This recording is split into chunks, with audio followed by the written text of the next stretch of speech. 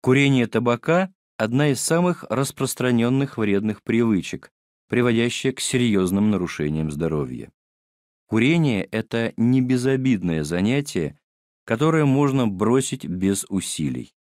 Это настоящая наркомания, и тем более опасная, что многие не принимают ее всерьез. Курение наносит большой вред здоровью, состоянию различных органов и их систем. Во время курения происходит сухая перегонка табака, образуются смолы и деготь. Вредное влияние курения на органы дыхания таким образом связано с прямым раздражающим действием веществ табачного дыма на слизистую оболочку дыхательных путей. Вероятность заболевания раком легких растет с каждой выкуренной сигаретой, папиросой или трубкой. Алкоголь относится к сильно действующим психоактивным веществам, вызывающим устойчивую зависимость. Если человек становится алкоголиком, он наносит вред своему здоровью, отчуждается от общества, разрушает семью, способствует формированию отрицательного генетического наследства.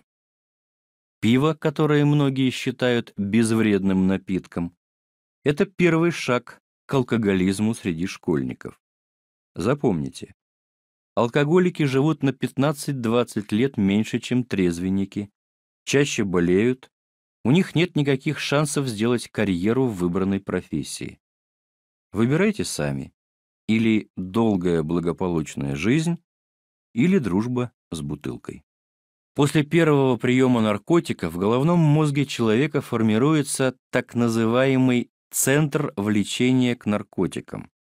Включаясь, наркотический центр перестраивает работу всего головного мозга, подавляет самоконтроль, вызывает тягу к наркотику, заставляет человека вновь и вновь его принимать.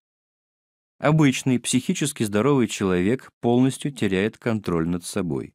По сути дела, он превращается в зомби, в робота, которым управляет центр влечения к наркотикам. А сам человек при этом ничего не замечает.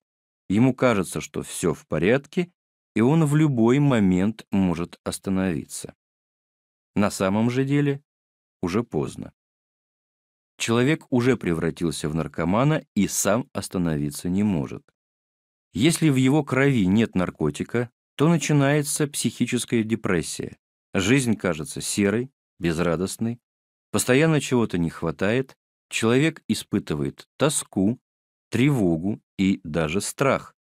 Он становится похожим на психического больного.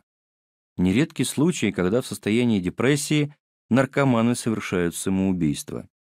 Мозг работает только в одном направлении.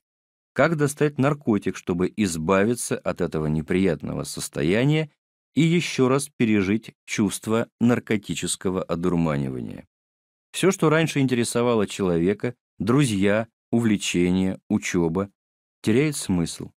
В жизни остается только одна цель, одно желание – наркотик. И действительно, после приема наркотика настроение и самочувствие ненадолго улучшаются. Все это называется психической зависимостью. Отсюда следует самый главный вывод. Единственно верный способ не превратиться в наркомана – это не пробовать наркотик вообще. Ни раз, ни пол раза.